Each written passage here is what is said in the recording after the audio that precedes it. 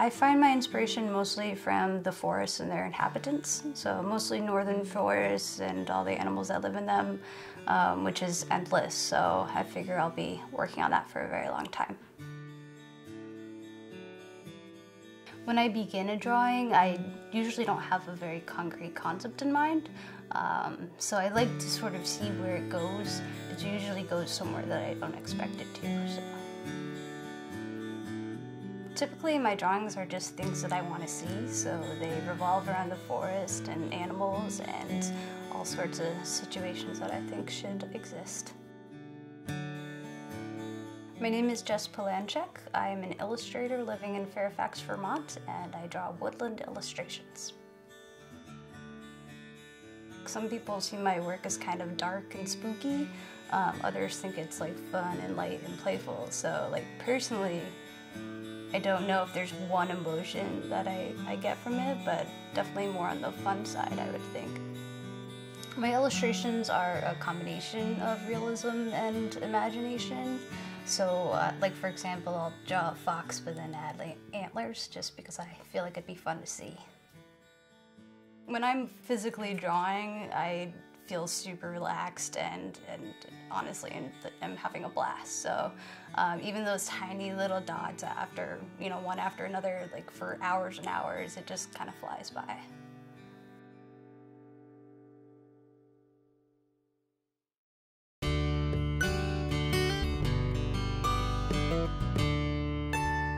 My brother and I were raised by a single mom. Uh, we moved all throughout Vermont and Florida um, almost once a year for, for most of our childhood.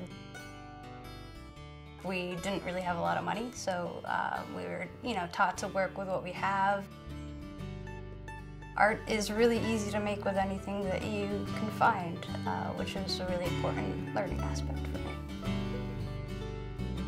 To be perfectly honest, what I draw is what I want to see, um, and it's just very convenient that other people like looking at it also. I grew up as a very independent kid, kind of doing my own thing most of the time, so it, it's a natural process for me. I like being in my studio with my dogs and um, my partner, and it's, it's, very easy. My business name is Polanshek of the Hills, which I started in 2013. I try to control everything and do it all in my studio as much as I can and that's been a major, major learning process. Uh, from the marketing to the packaging to the production. I think what my generation is super good at is using all this new media to promote themselves and, and make a living. It's out there and it helps you connect with the entire world, so using it is, is fun, but it's also very, very important.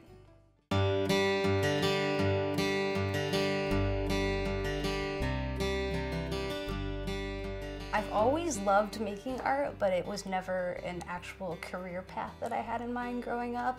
Um, I was really interested in mechanical engineering um, and then also the, the military, because um, most of my family is military, so it was a natural path. Um, I thought I would join the Navy and just go on my way and go to college and all that stuff, but it ended up changing drastically and it was, it was for the better. I took a trip through Europe and got to see all the crazy amazing architecture over there, so that's definitely a huge part of what I have been doing recently anyway. The past two years or so I did a series called Home and that incorporates wooden Russian churches and tops of temples and things like that.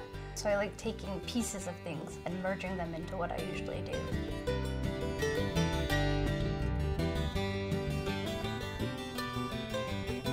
I would say my real style began in 2012 when I started this drawing of a fox wearing a cloak made out of feathers.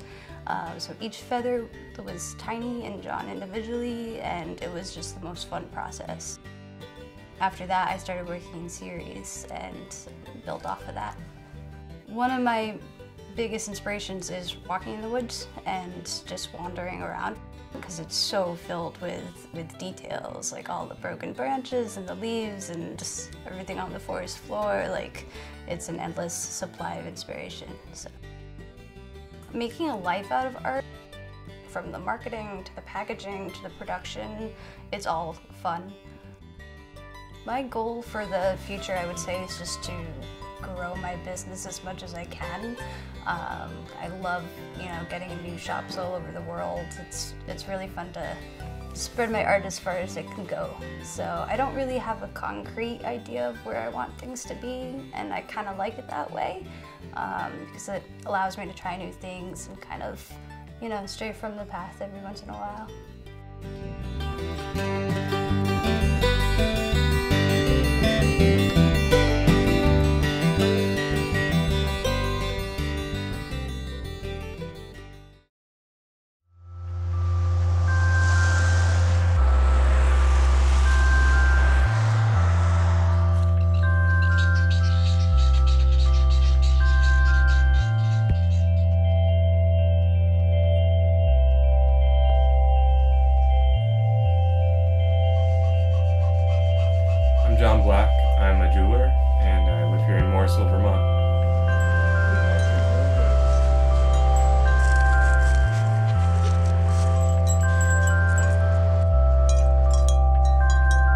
About seven years ago, I uh, transferred up to uh, University of Vermont from Massachusetts.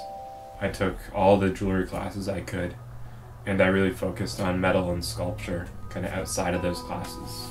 And sculpture is definitely part of jewelry. I think that maybe one of the most interesting things about jewelry is how cross-disciplinary it can be. You know, jewelry just draws a lot of outside influences because it's something that people have worn since the dawn of time. It's people enjoy adornment, and the more interesting and unique you can make it, it's just yeah, it just has a lot of color. Just, I start all my work as sketches, and from those sketches, I usually transfer my sketches to graph paper, and from there I cut that out, and then I transfer that to a piece of copper, and I cut that piece of copper out and that copper piece becomes my template. So if I make it in the future, I have a piece where I just trace and I know exactly the shape and size. And I'm usually cutting that piece out, you know, usually forming, shaping, soldering it together with other pieces. Uh, it really just depends on the size, how much inlay there is, whether there's marriage of metals, just combining two metals together, which I do a lot. It's um, uh, this thing where I, I wrap you know, sterling and copper together and I oxidize the inside of that copper and kind of turn it a nice turquoise blue or whatever color it wants to be. And so that way these simple forms, squares, circles, triangles, teardrops, uh, look, you know, very simple and look like lines from one aspect, but they turn a little bit and they just open up and they have this depth to them and this color. Uh, you know, it's really the hues that I can get from just like oxidizing and this surface texture I can get from how I finish the pieces.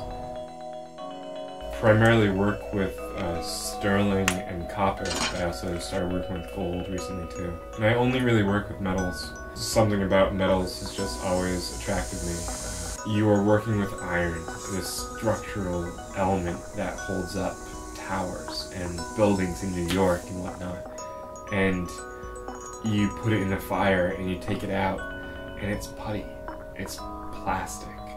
Here's this element that's so strong but yet supple and the way that you can just work it and make something from it. It's just it's not necessarily a power trip, but it's definitely I don't know, it's it's powerful and having that ability to shape something so strong is uh, attractive.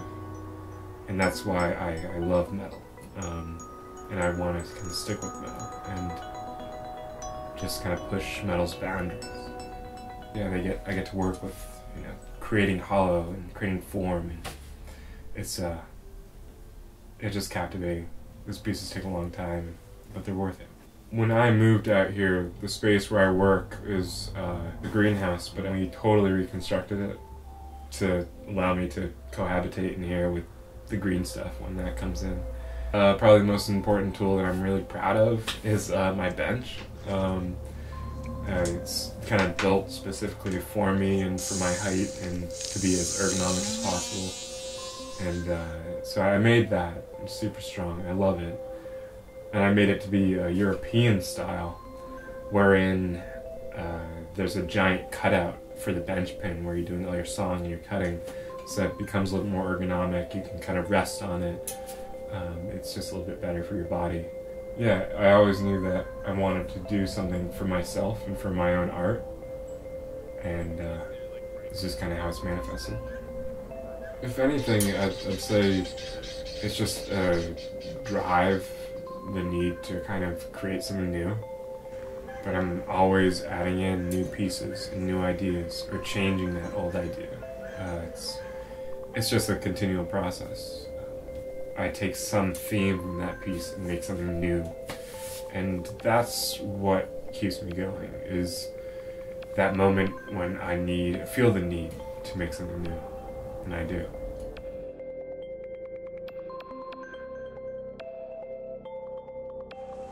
I definitely see myself doing this. And I will push jewelry, you know, as far as I can possibly push it. Um, but I also kind of want to build up a sculpture studio too. uh, I do, you know, have the urge to make big things, you know, and uh, that's that might be part of the future.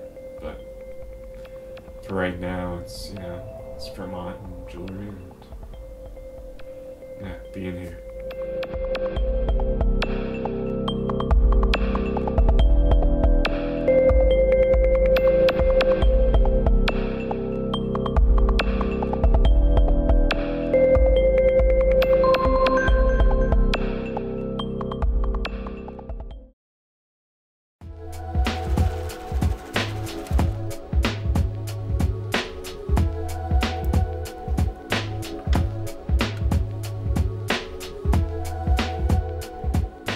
Is Marta Sulocka.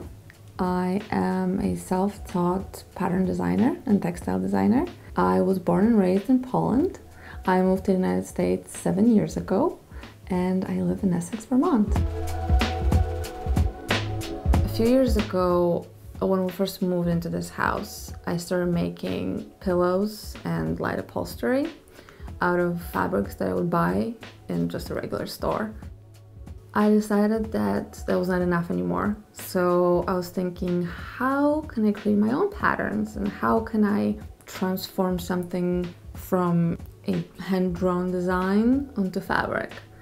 And I started Googling, I started researching, I started reading books and step by step, I basically taught myself how to screen print.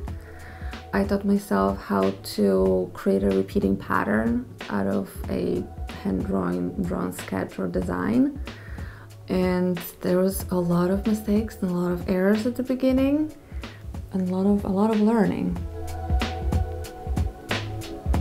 Home is a very important part of my life. We all spend so much time in our homes that i feel like it should represent who you are. It should show a story of who you are.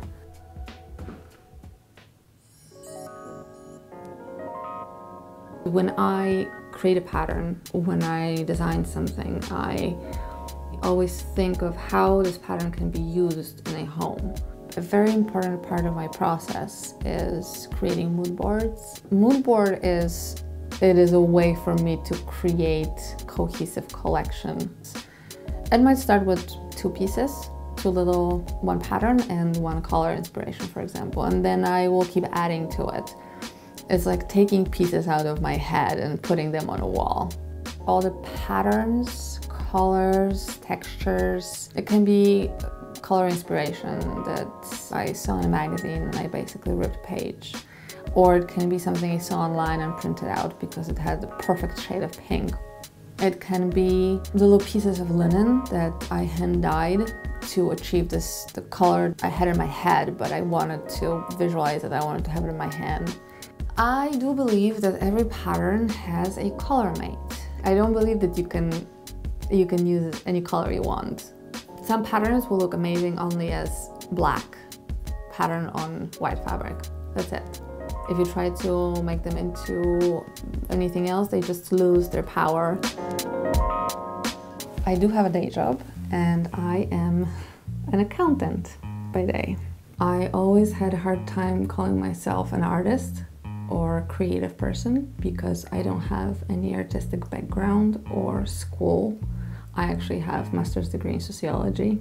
I grew up with my parents having a clothing company, clothing line, and I, I helped a lot. I did a lot of ironing and sewing and helping, and, and I always I would tell myself I would never do it. I would never have anything to do with fabric and sewing or anything like this. And then one day, it just came back. It was Poland, after, you know, after 1989 world where it was the transition that Poland was going uh, through from socialism and then free market and capitalism. Everybody had to decide what they want to do with their life and and know that they're on their own now. For my parents, it was it was owning a business, uh, but it wasn't easy. I've seen you know how it is to have money and see how it is to not have money. That's something that that I just know. If you want to have something, you have to work for it.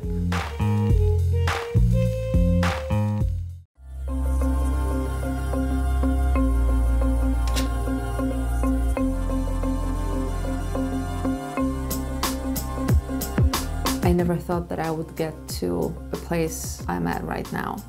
I never thought it would be a business. I would love to make it into my full-time job. I never thought when I was starting that I would have my own fabric line, that the bloggers or interior designers would feature my work, that they would love my work, that they would request samples and they would like to put my fabrics in their clients' houses. It's all people who found me through my social media. I want to say Instagram is my um, main marketing tool at this point. It is amazing. I have found so many amazing people through Instagram and so many people found me. What I believe my clients, who they are and where they come from is um, they care about the creative piece that is behind my pillows and fabrics. They appreciate the fact that I put so much of my heart and effort and so much of myself into every single piece that I create. It is amazing to, to know that you created something, that it's, it's your hand that drew a pattern. And it's gonna be in somebody's home and it's gonna be part of their life and uh, be on their couch or a chair or it's gonna be drapes or whatever else they wanna make. You know, it's, it's, a, it's a piece that they're gonna look at every single day and it's gonna bring them some kind of joy. It's, it's just an amazing feeling, yeah.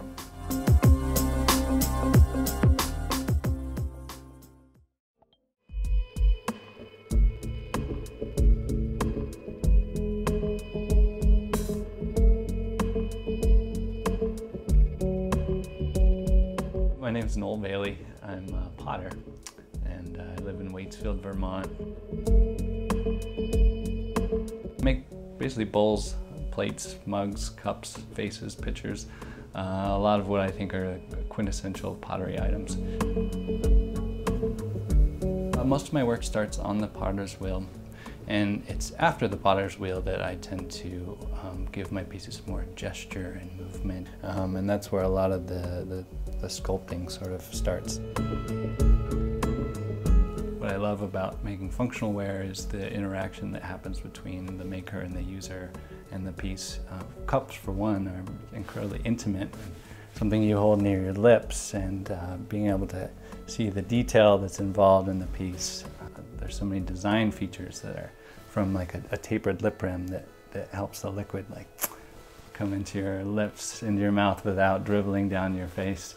Um, and two, I also things I think about like the angle of uh, how a person like men tend to hold a mug with a very straight arm and bend at the shoulder, where females tend to bend at the wrist, and it's a little bit more of a this kind of turn.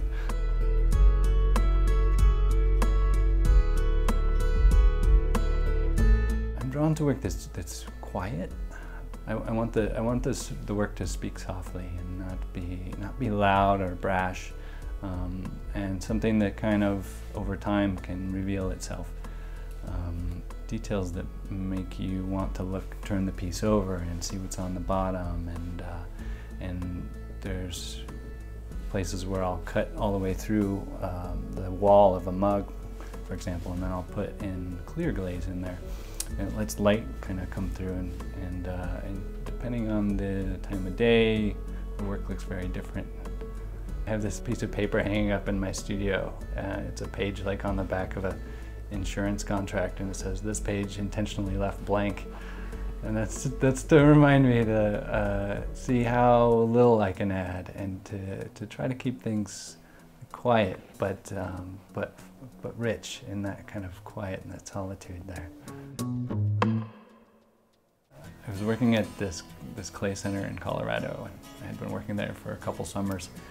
I was making some work that was technically it was very sound um, and I was feeling pretty good about it the, the pots that I was making and I had this one particular mug that I thought was just nailed it. I thought the glaze was was just right and it was the walls were thin and everything and, and so I went up to this artist and I said uh, so what do you think about this mug here and uh, and he looked at it and he said well it's a, it's a nice mug um, but there's nothing about that mug that tells me about who you are and uh, that really uh, really stuck with me and, and got me to think a lot more about well what what is unique about me and what can I make that that'll be different than everything out there and, and that will express the things that I'm interested in.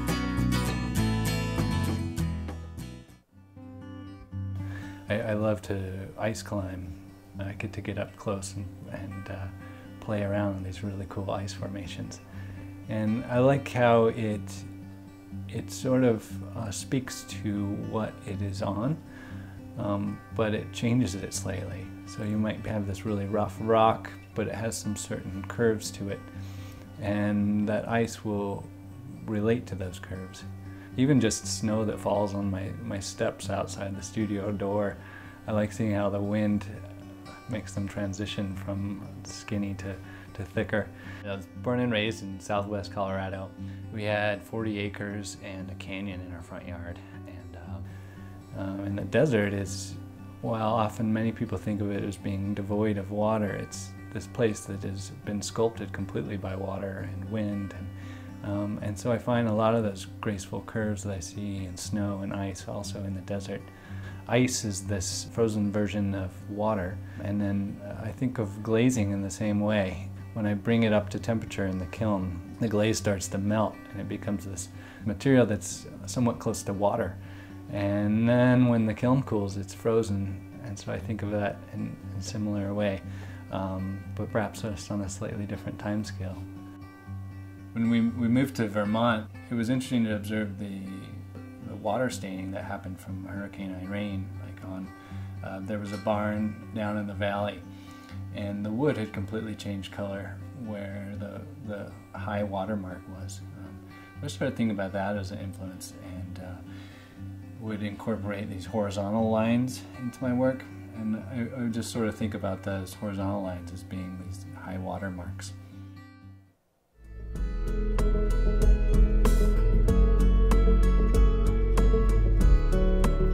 Think a big component of my success in this is that it's a constant challenge and I don't ever feel like I've gotten there. It's uh, there, there's so many things that can go wrong with this media that uh, that totally that keep me humble and uh, keep me striving, keep me on my toes.